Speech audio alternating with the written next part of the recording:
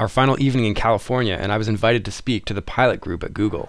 Because most of the time the view through the windshield is just glary. Usually I'll clean it and then I'll, on the takeoff roll I'll watch a bug hit right where the right in the center of the lens. I was exhausted, but after the talk, I got an offer I couldn't refuse. So what do you think? Are we gonna do this? What time is it? Yeah, we can do it if we do it now. Oh God. This is the first airplane I ever considered within reach of ownership. There it is. I've been carrying that for 15 years. Kind of have to give you a ride at this point. I'd never flown an RV-7, and it was an awesome way to end this trip. When I started this thing, I never imagined I'd be speaking in Silicon Valley. So an RV7, oh, that's awesome. That's like on my list. we should fly. We should fly. I'm going tomorrow. That's unfortunate. It's here tonight. and then get an invite to fly directly after the talk. This whole Flight Chops thing has been a wild ride. Let's review what led up to this moment. Debriefing my Weekend Warrior private flying has always been important to me. And when GoPros became available, my post flight analysis went to a whole new level. Brock and James are filmmaker friends, and we decided to launch a YouTube channel to share my debriefs and other aviation stories. But the channel needed a name. It was Movember, and I was rocking the most goofy mustache I could come up with, and that inspired James to think of the branding idea. And on that note, I do feel that I owe Movember for inspiring this whole thing. So I'm going to be giving back. My six-year-old daughter is going to help me do a, a reverse Movember, and we're going to shave my facial hair back to zero. Anyway, a huge part of why this is working is because of the crowdfunding campaign on Patreon. Heather? Hi, Steve. Steve. Pleased to meet you. Welcome to Patreon. I'm happy to be here. Let me give you a tour around. And I actually got to visit the head office with Elliot, one of my supporters from San Francisco. So that was really cool. Brock and James and I are getting all over the place to shoot awesome stuff. The most recent trip was Atlanta. So we're at the Delta Flight Museum. I'm going to see if I can't crash a 737. I actually did okay, but when Brock got his turn, things got interesting. Oh! We did not survive that. Oh, anyway, back to Northern California. On the way to Silicon Valley, we were invited to have lunch with a bunch of pilots at Apple. And then we stopped for some hiking. So we're five minutes away from Apple World headquarters. We found some giant insects and a rattlesnake. So here I was on the last day of the NorCal trip, speaking to the pilots group at Google about being a YouTube aviator. The side effect of the whole thing, which is cool, was that exactly what just happened here. I've got a picture of an RV7 in my wall that I've been carrying for 15 years. I'll show you because it's one of those like visualize your goal, like carry it. This has been in my wallet. There we go. See how old that is? That's the photo. Mine looks pretty much identical to that, but it's blue. I've been carrying that for 15 years. Kind of have to give you a ride at this point. All right. Yeah. Take GoPros, just go and enjoy it. Really? Yeah, just if you just want to come for a ride, let's go with you. I would. Yeah, I would love to come for a ride in an RV, man. I feel like I want to shoot it though too. and I'm struggling. Well, I mean, you can you can bring one and you know pop it Yeah, around I if you want, but but there probably isn't time to go and mount like No. 17 on the No, airplane. no, no. But, uh, Just go and- and enjoy it. One flight rate only flying and enjoying it. This is the only time I'm ever going to do this. It's crazy. It's a little windy, but not too bad. Um, so we'll Whatever. go have a look at the if you're weather. and go from comfortable. I'm comfortable. Yeah, we'll go have a look. Okay. And that's what this community is about. Jeff was an instant flying friend. And despite James's uncharacteristic recommendation not to shoot it, I couldn't resist the urge to bring one GoPro. These opportunities are arriving because putting myself out there has kind of like created a little community around it. I think we all do this. We all want to sit at the bar and tell your friend about that flying thing and share a swap a story or whatever. So just kind of creating this sort of vehicle for it has been very rewarding. So I feel like it was a little bit of a risk to put myself out there because you know you, you all know what YouTube comments can be like. Right? So what I did before I launched it was carefully look at other flying channels and see how those comment threads went. And I was like, yeah. But that's because I learned from their mistakes. And, and in their defense, I'm a professional editor. Like we, we are filmmakers. So this is my hobby, but I can take a professional spin on it. Okay, this is Chopper. Yep, Chopper in sight. And we're not going to be in his rotor wash seriously, so that's no problem. Fuel pump off. We're good waiting. Wow, he really flared that thing. That he did. And he's going to whip up a huge. Have you taken off after a helicopter before, like a little one like that? No. No. Massive, massive rotor wash. He's Yes. putting down a huge amount right now. Number one kilo Mike, caution rotor wash, departed helicopter rates in the left pattern. Delay is approved if you need it. Winds 280 at 10, runway 31, clear for takeoff. Okay, clear for takeoff. 311 kilo Mike. So how long would you wait, or do you feel good about it? I'm, gonna, I'm just going to taxi out nice and slow. Alpha Tower Steer, 6830 Romeo, and here left stalled. So we've got a crosswind, so everything's blowing off to the 6830 right. Romeo, Palace Tower, proceed direct to midfield and a right downwind, runway 31. Strobes are on. Field to the Okay, pre-takeoff checklist is complete. I'm just gonna, I'm just meandering out to the runway here, so we're not we're not in a huge rush. Captain 4 Uncle Papa, runway 31, clear for the option. Option uh, forward. Right, there's full stop. You ready to go? There you go. Okay, full rich, pumps on. Here we go.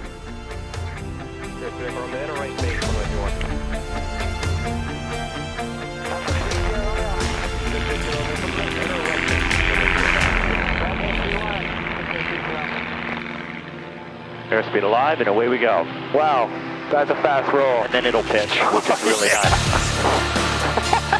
You didn't even need to accelerate before you could do that. No, it gets That's right, awesome. it gets right up and goes. That's awesome. What was the rate there? Was it getting up to 1500? Oh, yeah, yeah. Well, we can we, we can do all of that. Yeah, man, you're selling this airplane already. It's it's good times. And sometimes I get a very tiny percentage of haters that will literally like review. And that's that's usually what I say is like, thanks for reviewing the voiceover. You've said exactly what I said. I don't know quite why you felt the need to say that was a screw up. That's exactly what I say in the video. In fact, that's like the title of the video. But I shared it because it was stupid and I should have done something differently. But it wasn't illegal. It was just dumb. I was lucky because I don't have anything to prove. And I do have help with, with some of my, my mentors and consultants have made sure I don't do anything stupid like put a video out that looks. Because the problem is when you edit a video, you can easily make something that was safe and innocuous look illegal or unsafe just by trimming something, right? Classic case is if I show an engine start and I cut out clear prop, I'll get a zillion comments saying, you didn't say clear prop. So I'm careful about that. I always make sure the videos have context and I disclaim them also. They're not training videos. It's just sort of sharing experience from the private pilot perspective and focusing on the debrief, which I think that's probably why people gravitated toward it. Because a lot of people park the plane, put keys away, and just remember that the thing that wasn't that great, they'll just kind of like, oh, I don't know what that was all about. But anyway, but if you don't analyze why that the crash line landing didn't work or whatever was not so smooth about that flight, you just go home, you didn't get anything from it, and you're just going to make that mistake again. Just, um, just Sorry, try sorry. yeah, no, it's, it's all good. If, if you want to trim, it's on panel now, and just, just instantaneous touches are all you need. Okay. Do not hold it. Yeah. so you want to trim nose down maybe, but I, I just printed a little bit there. But you can see it's very sensitive. Wow, that is super Yeah. sensitive. I can't wait to film more RVs and other experimentals. At the talk, I was asked which airplane I've flown so far was my favorite. I gotta say it's the Stearman because like we got to produce it the way we wanted to. I had my guys there to shoot beautiful footage of this beautiful airplane. I was flying with my mentor. Things started really coming together for me for tailwheel flying, like starting to get it. The Extra 300 was a plane that I got to fly and we also produced a pretty awesome video about it. And that was awesome, but it's almost like fake or unreal, like what that airplane can do. Holy shit. Is that kind of what it's like in the RV? It's pretty, pretty snappy. Yeah, the RV's, the RV's pretty quick. I mean, it's, it's no extra, um, but, Sure. it's, uh, but it loops and rolls really nicely. Yeah. Just give that a go, nice and gentle, not a lot of pitch. Yeah, I'm being too pitchy. Yep. Need to be ailerony. Cool. When I carry passengers, I encourage them to, to put, put their wrist on their leg. Right, because you don't want to be moving your whole arm. Yeah, just, just, just pressures, and I have them follow me through some maneuvers, and we do just do some Dutch rolls back and forth, and they can see what 45 to 45 look feels like. So I'm going to maintain this altitude. Yeah, 4,500 is where I've told them we're, we're going to be. So, Okay, I'm going to make a left 360. yeah, left 360. So about that, I'm not looking at And, the. you, Uh, and, and you don't have to pull. yeah, you Watch don't. your VSI. You're climbing. Yeah, okay. Yeah, you're right. Don't pull. Just just roll into it. Just, just roll. But but you do have to provide a tiny bit of pressure because if you just roll in, then the nose will fall through, and then Yeah, I now gotcha, you're I like a thousand feet a minute down or more, and you're pulling two and a half G's. Ah! Um, you're looking at 1.4 on the G meter right now, 1.5. You're looking great. We're good for positive six, minus three. Yeah, yeah, no problem. But we don't have inverted systems, just uh, FYI. Okay. And we're still climbing. Sorry. It really wants to climb. Does? and because the nose slopes away, you feel like you're uh, descending. How much time does it take for you to do, do your debrief? That is my first step in editing anyways, so I always do the debrief in real time, pausing to make notes. So typically it'll take twice as long as the flight did. So you, you record all, all your flights and then if you find something useful, you edit and make it happen. I, I record them all for debrief purposes regardless, because at this point I realize like if I don't, I know something cool is gonna happen I'm going to be pissed off. Because some of the coolest stuff I've ever had happen was like supposed to be a routine flight. All right, well, I'll just try an S-turn a bit more aggressive just to see if I can keep my altitude. Is that cool? Just That do an sounds cool. S-turn? Yeah, no problem. All right, so yeah, see, a bit negative there. And the other way.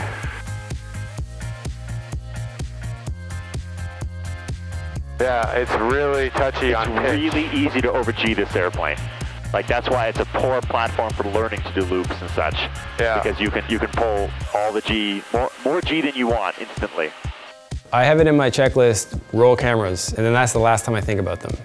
From my perspective, I do not want them to be a distraction. If, it's, if it becomes a distraction, it's defeating the entire purpose. Now, when I have these guys with me, I do productions like when I fly the Stearman or things like that. I'm a student at that point. I'm not PIC. I'm making a film. So I am more, probably like 40% filmmaker and 60% pilot. So I acknowledge that I'm distracted. So I don't do that when I'm PIC. If I'm PIC, I generally don't have these guys because what I'm doing is just low key. But I still roll the cameras for debrief purposes, and I make sure that that's clear in my mind. And anyone that asks me, it's like this is not me making a film. If it comes in, if it becomes a film later, because when I look back at it, I'm like, whoa, that's something I can share. Then fine, right? Then I'm a filmmaker after the fact. I'm editing after the fact. I'm not a filmmaker when I'm flying. So if you actually want to set up a descent there, I'll let you fly the approach in. Sound good? Just push it down. You're gonna reduce power. Or just let it go. Constant speed. We'll just we'll we'll we'll, we'll give her. Uh, we're doing a, uh cruise 150. Ground ground speed will pop up a little bit. Um, I I'll, I will be pulling the power back a little bit, but we're only 20 inches of manifold here. Yeah. I've got the prop at kind of a nice 2400 at this point, so I'll I'll pull it back a tiny bit. We're still running fairly rich here, so All right. So what airport is that? that's San Jose Airport. That's San the right. Jose. That's Yeah. Muff. You guys have airports so close to each other. This airspace is no joke. We've been talking to NorCal while in the practice area. 771 Kilo Mike is heading back to Palo Alto. Camera 1 Kilo Mike, Roger, advisory receive 8 is Alpha for Palo Alto. Uh, we're affirmative Alpha. Uh, we just left a few minutes ago. Have a just one Kilo Mike. Yeah. I'm just going to pull the power back, throw some carbine in, richen it up a little bit. Um, and yeah, you can put about a thousand feet a minute down. I don't see anybody else in the circuit. No. Palo Alto Tower 771 Kilo Mike's inbound with Alpha. Uh, we're over the amphitheater. Number 771 Kilo Mike, Palo Tower, traffic ahead to your left, helicopter opposite direction on the downwind We'll follow you straight in, runway 31, number 1, clear to land. Number 131, helicopter in sight, 1 Kilo Mike. Cool, okay, 1,000 feet, so give us 500 feet a minute down. I'll start pulling the power out. What are we looking for for final speed wise? 70 knots. So how are we gonna get down to 70? No problem. Big constant speed propeller. Copter port, Okay. pop, the traffic is passing low to your Oh. I feel that. Yeah. Yeah, line us up. Looking for him. For yeah. Oh, there he is. That was the helicopter spotting Pop us. Yeah, 2, helicopter's got it. 280 at 9 You- Earth, you- runway you can feel the good prop slowing us down. Number two is back in the experimental Start, start, start pitching for 70. We're 500 feet. Yes, sir. So power's all the way out. I'll, I'll feed the flaps out once we get down to, to uh, under 90. All right, so I'm just gonna crab a little bit there. Yeah, pitch us. Left Pitch, plane. pitch us through 90 so I can get some flap out. Cool. Okay, so there's 10 degrees of flap. That feels really slow And after there's, there's 20 degrees of flap. after how fast we were going. Now I feel really slow, but we're still going Pitch for 70. 70. Yep. Feeding, feeding a bit of throttling. So that's a big sink. I'm okay. pitching. Okay, but you're pitching down though. We're up, we're, we're, we're, we're, we're, we're at 86. Yeah, it's all good. Okay, so we're at 84. There goes a bird. So I'm just going to. Uh, You got it? I'll, I'll, I'll follow you through this one. Okay. Okay. Sorry we're- that. We're I, thought, I thought it was a sink because I didn't want to pull the nose No, out. no. With the prop out, the thing comes down like an anvil. Yeah, I noticed that. Okay, so let's uh, let's get the snakes in the basket here. Okay, 75, a little too much, but we'll pull the power out there. 70, work the power in. 69, 68, 65, a little more power. And your wheel landing? I'm gonna try. Nice, man. That was good. Ah, I bounced it. Let's fix it. There we go. We got it. This type of airplane, when you're in here, these wings are tiny. It's it, you're wearing it. It's like a toy. This really is like the airplane you fantasize about flying, and it's accessible. These things are not that expensive. This is an RV7 kit plane. Probably the most affordable fun you can have in an airplane. We shot a ton of stuff on this adventure, and it was all because of the supporters on Patreon and help from sponsors. And they're giving away $750 worth of stuff at flightchops.com this month, so please check that out to enter the contest. And thanks to the Google Pilot Group for inviting me down to talk, Jeff for giving me that awesome impromptu ride, and all the other awesome people we met in Northern California. We're definitely going to be back. And as always, keep your flight chops sharp. It really does seem like the perfect balance of a snappy little airplane that you could also travel with. Yeah, no, it's really great. It kind of is the perfect airplane. I mean, nothing is the perfect airplane, but It's um, close. it's this is this this doesn't suck. it does not suck. I would agree with that assessment.